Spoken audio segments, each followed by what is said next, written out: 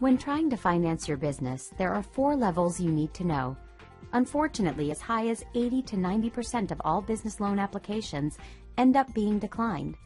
This is because in business lending, there is much more to it than there is in personal lending. Your business loan application can be declined because the lender you submitted to does not approve businesses who don't have an FCC database listed business phone number. Or, unfortunately, you operate your business from a cell phone and you didn't know that would get you declined.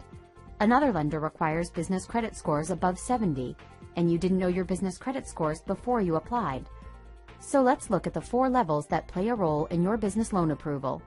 Level 1 is lender compliance. Lender compliance is a series of 20 items that many lenders will check all or some of in their finance approval process. These items are simple to complete if you know what they are. They are things like having a U.S. Postal Service listed business address, having an FCC listed business phone number, making sure your business is in the National 411 database, making sure your business is listed as in good standing with your Secretary of State, and 16 more. Level 2 is owner's credit. The credit scores of business owners with at least 15% equity are vital to obtaining business financing. If you haven't taken the time to optimize your personal credit scores before you apply for your business loans, you are limiting your ability to get approved. The optimal FICO score for a business loan approval is 720 and above. Level 3 is business credit.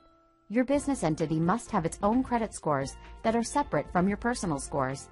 Your business needs to have business credit scores that are 70 or above with all three business credit reporting agencies. Level 4 is finance programs. There is nothing more important than knowing if you pre-qualify before you submit applications. That's why the Business Finance Pre-Qualification Test is so important to your approval success. The number one reason that business loan applications get denied is because business owners apply first and ask questions later. It stands to reason that if you know what they require to approve you before you apply, then you stand a much better chance of getting approved.